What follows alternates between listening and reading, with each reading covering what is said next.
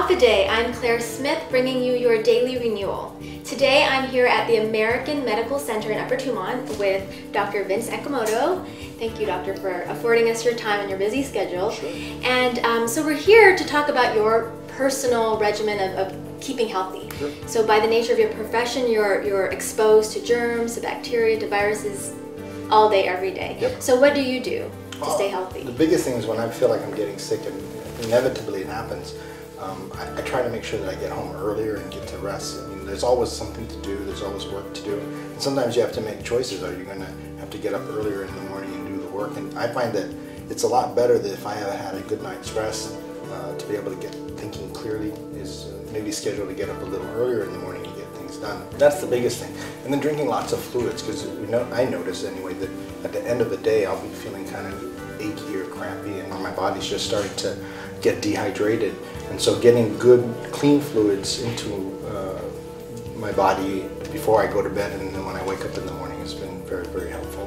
Yeah, because I know like, with dehydration, a lot of times people don't even realize that they are dehydrated. And you know, it- dehydration is one part of it, and it leads to headaches and dizziness. Right. and cramping. But the other thing is just simply not being able to wash out the wastes of the day. You know, if you're drinking coffee or if you're, you're eating foods through the day Mm-hmm. and you're not having enough fluids to wash out the waste, you'll feel it you wake up in the morning. Right.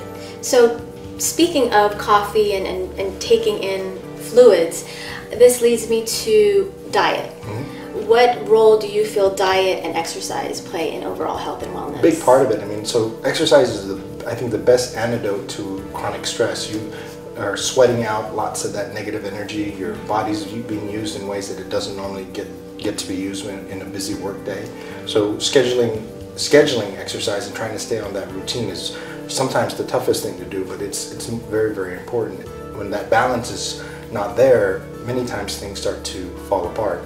And it goes with diet as well. So what you eat is very, very important, but when you eat it and, and how you're eating it, if you're eating on the run, if you're you're eating and, and watching TV or, or, or not really kind of letting that food digest and being with people that, that you love, I think you're missing out on a lot of what's important Right. for nutrition. So it's more than just the materials going into your body, but who's preparing it, when is it being prepared, and what are you doing when you're taking Right. it in. So that family dinner it turns out to be more than just food. It's it's real spiritual nutrition too.